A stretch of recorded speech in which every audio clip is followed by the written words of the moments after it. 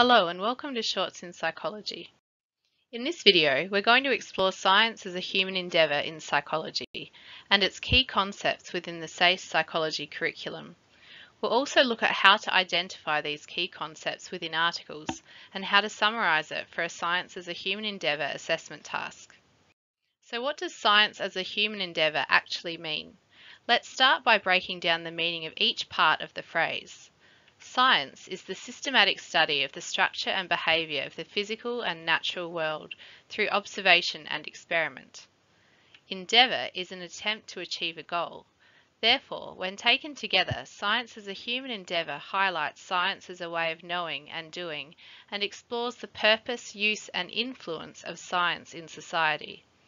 It involves investigating the dynamic nature of psychology and how psychologists develop new understanding and insights and produce innovative solutions to everyday and complex problems and challenges. In psychology, science as a human endeavour, or SHE, is divided into three key concepts. These are communication and collaboration, development and application, and influence. It is important to note that while these key concepts underpin the context, approaches and activities used within SACE psychology, they are neither comprehensive nor exclusive. Each key concept has a number of elaborations. Let's explore each of these key concepts and its elaborations in more detail. The first elaboration under the communication and collaboration key concept is the idea that science is a global enterprise that relies on clear communication, international conventions, and review and verification of results.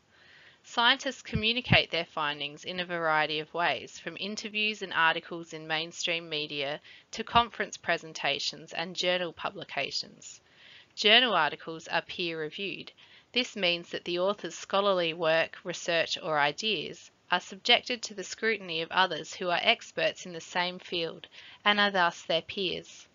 Psychology also involves the use of international conventions such as standardized tests, data collection techniques, and the Diagnostic and Statistical Manual of Mental Disorders, which is a product of years of effort from hundreds of international experts in all aspects of mental health. Identifying the elaboration of communication within articles is pretty straightforward. For example, in this excerpt, we are told that the researchers published their findings in the journal Neuron on the 12th of October. It is important when writing a science as a human endeavour task to summarise findings and discuss how examples illustrate key concepts of SHE in your own words. In this case, we could summarise by saying the researchers communicated their findings about serotonin and dopamine in the human brain by publishing their results in the journal Neuron on October the 12th. The other aspect of the communication and collaboration key concept is the idea that collaboration between psychologists and stakeholders advances research and understanding. It requires shared evidence from many sources in a multidisciplinary approach.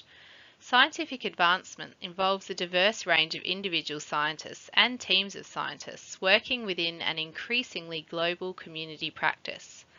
Other stakeholders could include government, businesses or schools. For example, studying the impact of mindset on student motivation and achievement would require the involvement of schools in addition to the scientists. Furthermore, education departments and other areas of government may be interested in the results due to their potential implications for educational policy. Psychological research is also often conducted in different settings and collects evidence from many sources in order to increase the data's validity. Here is an example of collaboration. In this excerpt, three different teams are conducting related research in either animal models or human volunteers. These teams of scientists have collaborated to combine their findings to draw conclusions about the role of serotonin and dopamine in cognition. Taken together, these findings suggest. They have then communicated their findings by co-authoring a publication. We could summarise this in our own words by saying researchers at three different institutions including the University College London, Virginia Tech and Wake Forest School of Medicine collaborated to study the role of serotonin and dopamine in both animal models and human volunteers. The second key concept is development and application. This includes the elaboration that developments in research and technology lead to advances in psychological understanding. The development of psychological concepts, models and theories is a dynamic process that involves analysis of evidence and sometimes produces ambiguity and uncertainty. Psychological concepts, models and theories are continually reviewed and reassessed as new evidence is obtained and as emerging technologies enable new avenues of investigation. This article excerpt is a good example of development. Researchers have developed a brain simulation which has enabled them to replicate activity that occurs throughout brain circuits. This area of investigation has been made possible due to improving technology and has subsequently led to advances in psychological understanding of neural networks.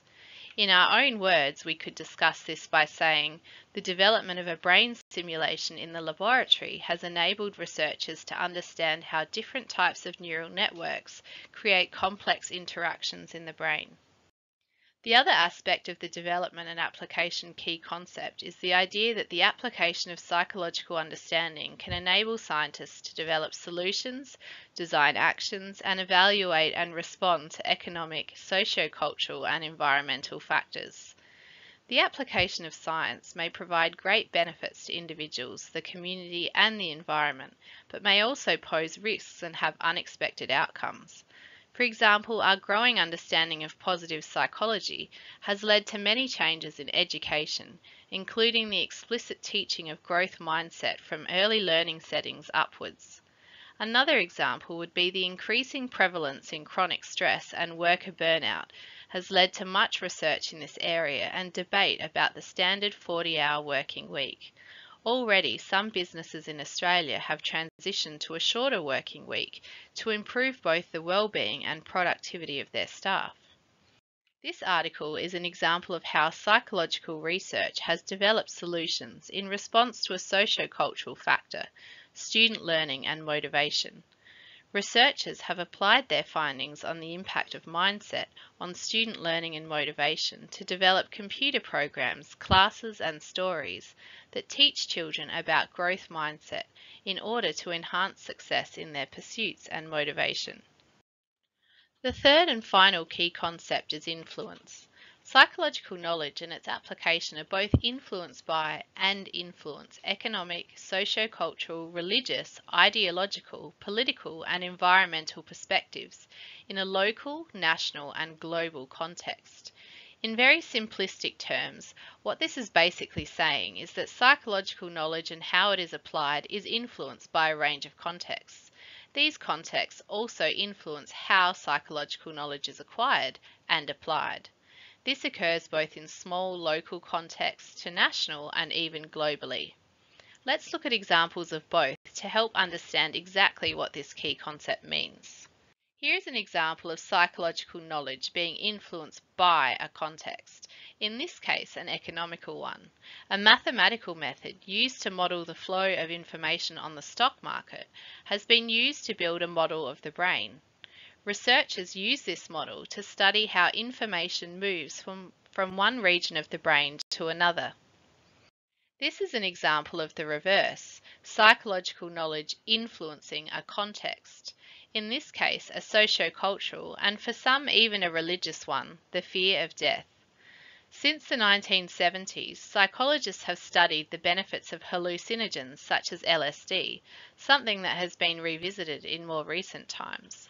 The known benefits of LSD in reducing anxiety, depression, and fear of death has influenced clinical trials where hallucinogens have been used to alleviate the physical and psychological suffering of terminal cancer patients and those suffering from severe pain. Researchers found that patients developed a peculiar disregard for the gravity of their situations and talked freely about their impending death, improving their psychological well-being. The other elaboration related to influence is that while the application of science may provide great benefits to individuals, the community and the environment, it may also pose risks and have unexpected outcomes.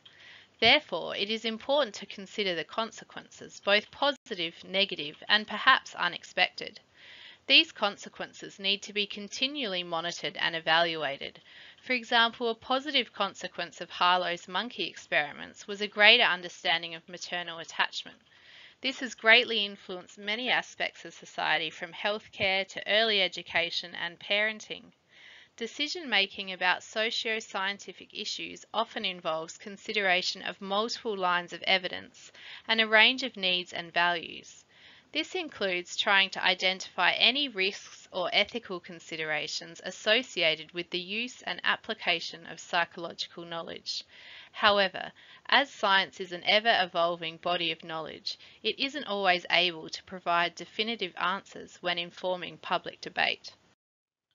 For example, despite the potential benefits of hallucinogens such as psilocybin, the active ingredient in magic mushrooms to, to treat major depression, there are risks involved with its use and important ethical considerations. As a result, Australia's Therapeutic Goods Administration, the TGA, has not approved their use in Australia until more data on their safety and efficacy is available. As well as the risks and ethical considerations associated with the use of hallucinogens, there are also ethical and safety concerns related to those patients suffering from major depression for whom current treatments aren't effective. They are currently prevented from accessing a treatment that could relieve their symptoms. How can their safety and well-being be cared for in the meantime? I hope this video has clarified the key concepts and elaborations for science as a human endeavour in psychology, and that you feel more confident not only being able to identify examples of them within your own research, but also how to discuss and summarise them in your own words. Thanks for listening and good luck.